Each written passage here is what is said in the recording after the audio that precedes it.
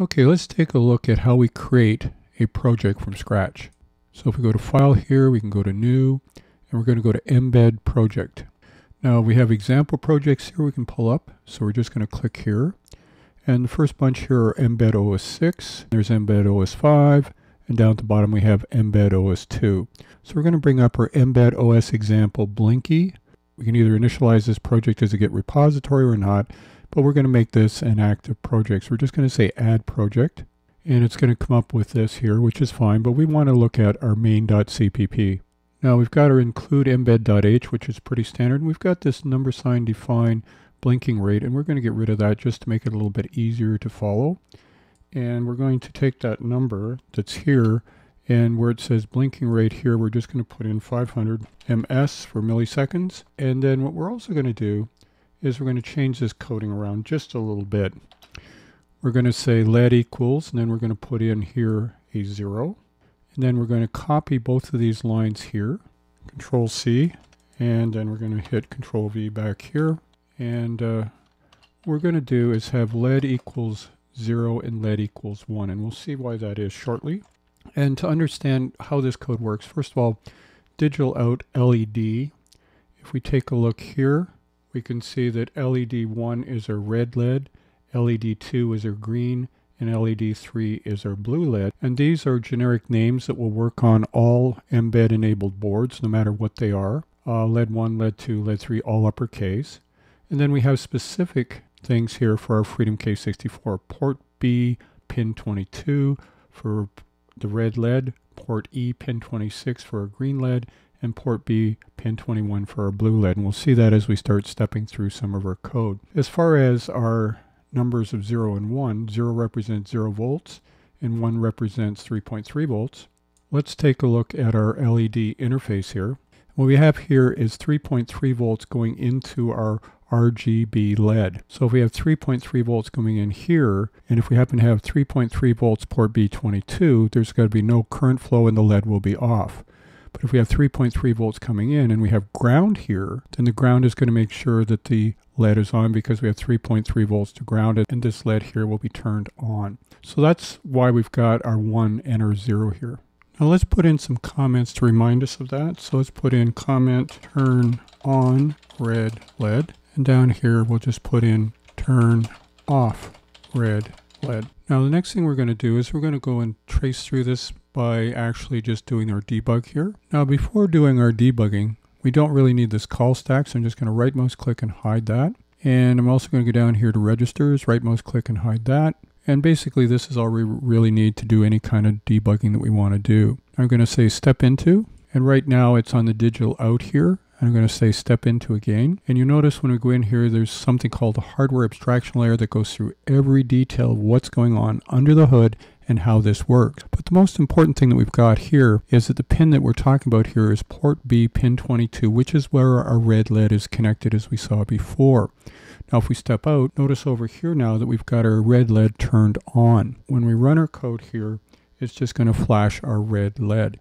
But it's interesting when we hit our digital out here, it actually turned it on before we got in here. Let's take a look at that in a little more detail again.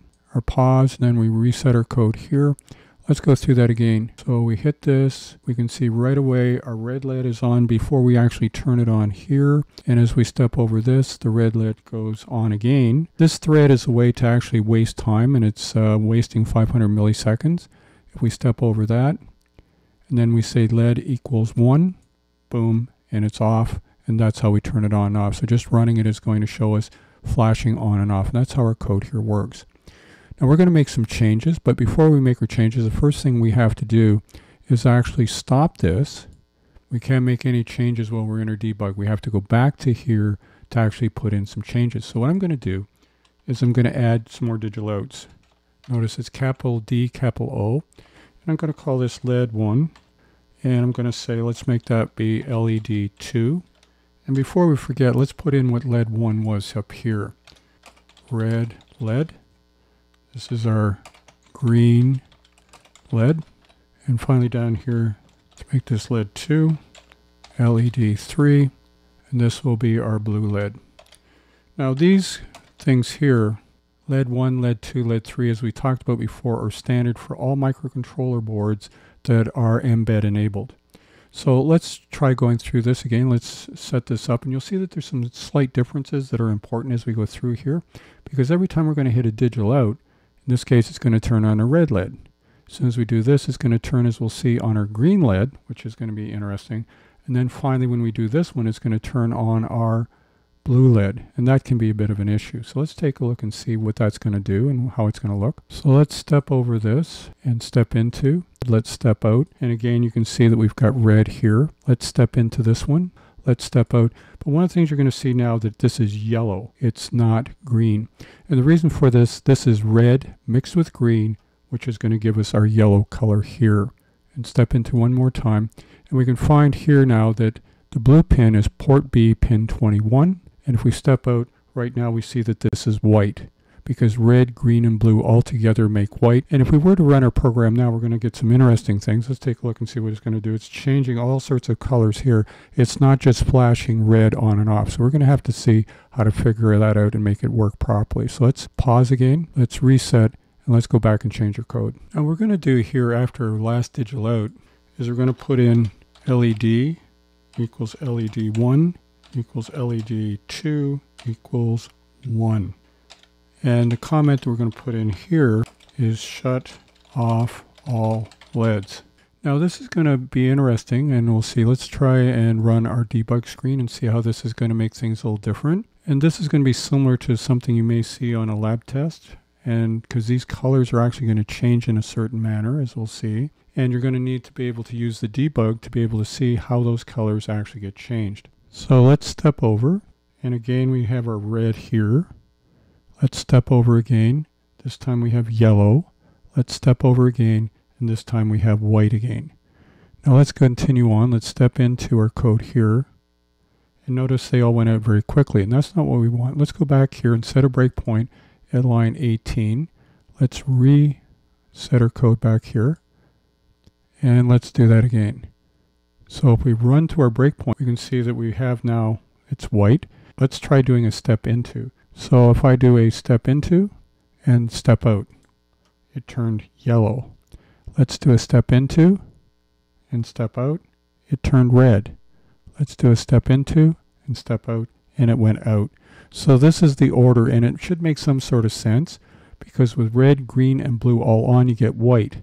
If you take out this one, which is blue, you get red and green, which is yellow, and then finally the red will go out. So it depends on what order you put these in. This goes out first, this goes out second, this goes out last. And so you should be able to figure that out fairly easily. Now, let's take a look at something else.